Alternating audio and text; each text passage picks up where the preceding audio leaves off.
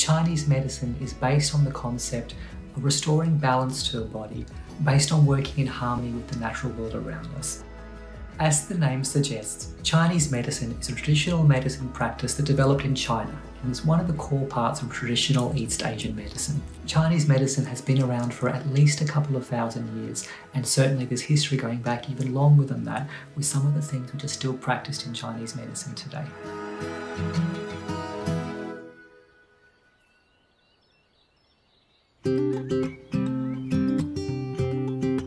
Someone might choose to study a Bachelor of Health Science in Chinese medicine if their interest is working across the full spectrum of different techniques and tools which are used as a part of Chinese medicine practice. Well known, of course, is acupuncture, along with some of the modern developments from that, which include things like laser acupuncture, needling acupuncture. Uh, it also includes lots of other manual therapies techniques, such as uh, Chinese remedial massage or Tui Na, moxibustion, cupping, uh, scraping, uh, gua sha, uh, the, all the different tools and techniques that a practitioner could use.